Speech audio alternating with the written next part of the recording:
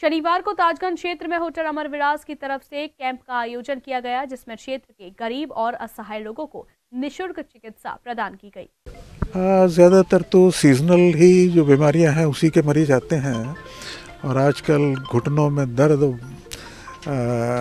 जोड़ों में दर्द, दूसरा खांसी, जुकाम और मसल के दर्द, ये सब तीन चीज़ें ज़्यादा हैं। बाकी स्किन की जो बीमारी है वो तो चल रही है पिछले कई सालों से तो वही मरीज़ ज़्यादा हैं। जी, मैं निखिलेश नोहवर फार्मासिस्ट। ये हमारा कैंप चल रहा है हेल्पेज इंडिया की तरफ़ से। आगरा में इसके अमरविलास वालों की तरफ़ से चलाया जा रहा है, जिसमें हम सीनियर सिटीजन के लिए फ्री मेडिसिन डिस्ट्रीब्यूट कर रखते हैं। जिसमें हम कॉमन मेडिसिन, जिसके लिए दर्द की बीमारी खांसी, जुकाम और दरअसल आज की टाइम पर कोविड का चल रहा है, थोड़ा उसके प्रिकॉशन के लिए मास्क मास्क लोगों को बांटते हैं, उसके लिए चल रहा है आकर। 200 से 250 मरीज़ देखते हैं। ये कैंप हेल्प एज इंडिया और अमर विलास के सहयोग से लगता है। हम इन दोनों संस्थाओं को, अमर विलास और हेल्प एज इंडिया को बहुत बहुत धन्यवाद करना चाहते हैं।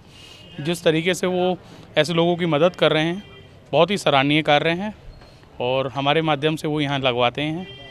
तो हम उनको थैंक यू करने वाते हैं करना चाहते हैं और ये बहुत अच्छा सहयोग जो कर रहे हैं ऐसे और लोगों को भी आना चाहिए निकल के आना चाहिए इस तरीके की चैरिटी करनी चाहिए।